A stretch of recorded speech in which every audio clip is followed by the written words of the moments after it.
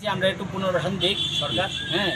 এটাই কারণ কারা তুই ভয় না পুনর্বাসন তো আপনাদেরকে দিয়েছি মানে আপনারা আরও বড় সড়ো জায়গা চাইতেছেন। হ্যাঁ হ্যাঁ বড় সড়ো জায়গা চাই আর এই জায়গাতে বসবাস করার মতো কোনো ক্ষমতাই নেই কারণ একটা গড়ই ছাড় আর কিছু এমনিতে আপনারা এখানকার যে যে বাড়ি ঘরে ঢুকতে বা আপনার গাড়ি টাড়ি বা এগুলো আপনারা ঢুকাতে পারেন না না এটা তো গাড়ি ঘোড়া তো ঢুকার কোনো লাইন নেই সাইকেলে ঢুকতে না।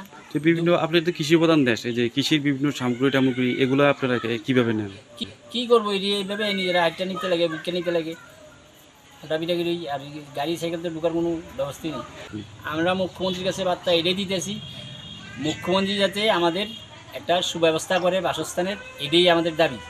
হুম, কারণ এটা দীর্ঘদিন এটাই দাবি, কারণ কিনা আমরা উনিশশো নিরানব্বই আইসি তখন তারও কইতে আমরা বাসস্থান দিব, আর এখন এই সরকার এসে তারও পয়সা দিব, কিন্তু কেউ তো দিতেছে না।